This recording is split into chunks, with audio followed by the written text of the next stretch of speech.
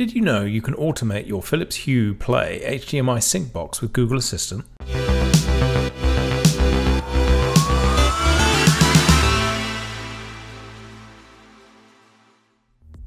In my last video, I covered off how to create custom Google Assistant routines. Routines are great for creating a set of instructions for Google Assistant in your connected home.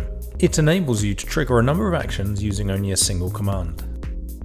However, not all third-party devices that can be connected to the Google Assistant ecosystem can be controlled by a routine. Philips Hue is arguably one of the biggest partners for Google, so it's a shame their flagship devices aren't natively supported by default. In this video, I'll explain how you can get the Philips Hue Play HDMI sync box to work with Google Assistant routines.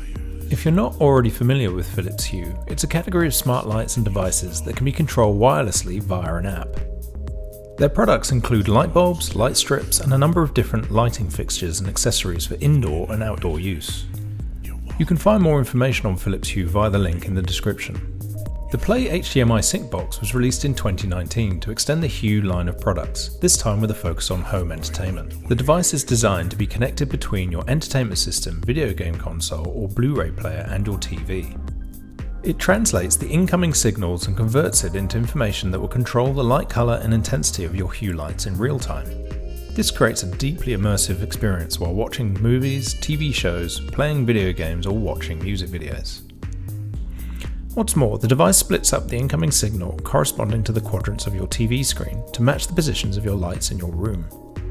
You can configure the app to correspond with your environment near your TV, and those lights will match the colours and brightness of the images on your screen. You can connect up to four devices via the HDMI inputs and control the input intensity, brightness, and type of playback via the official Philips Hue SyncBox app. The process to start using your SyncBox can require up to four different actions. You need to turn on your TV, change the HDMI input, turn on your lights if not already on, and activate the sync box. While you could split this into four commands for your Google Assistant, it's much more convenient to use a Google Assistant routine. The Hue Sync box isn't natively supported. You are able to connect the Hue lights and devices to Google Assistant, but the sync box itself isn't one of the listed devices you can select when setting up routines. There is a workaround though, which I'm going to walk you through now. After you've already connected your sync box to Google Assistant, in the app, go to Settings and then Voice Assistants and tap on Google Assistant find a handy, if limited, shortlist of example commands. Unless you've renamed your sync box, the default commands will all work with your Google Assistant. Make a note of the command Hey Google, start sync box. To start creating your routine, open the Google Home app and tap your profile picture. Then tap Assistant Settings. Scroll down to Routines tap New, then tap Add Starter, then tap Add Voice Command. I personally like It's Movie Time. Then tap Add Action.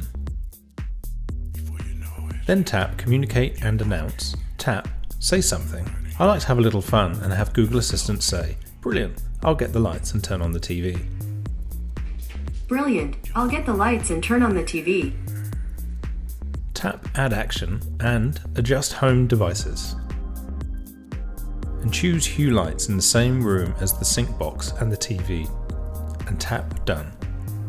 This next step is optional, but you can also have the routine control your Google Assistant enabled TV. Tap add action and scroll down to try adding your own.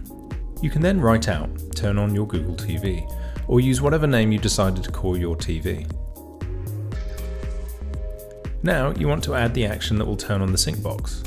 Just like the TV command, you can tap Add Action and then try adding your own.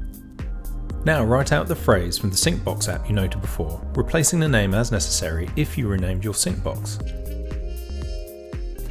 And finally tap Save, and now your routine is set up. As seen from the steps to set up the SyncBox, you can also make variations of this routine to control other Google Assistant enabled devices. There are a number of other devices available on the market that can be added to routines by using the try adding your own action, such as your sprinkler system, robot vacuum cleaner, and more. For more help on setting up Google routines, check out my last video with this link. As ever, if you made it this far and found the video interesting and informative, it'd be great if you were to like it.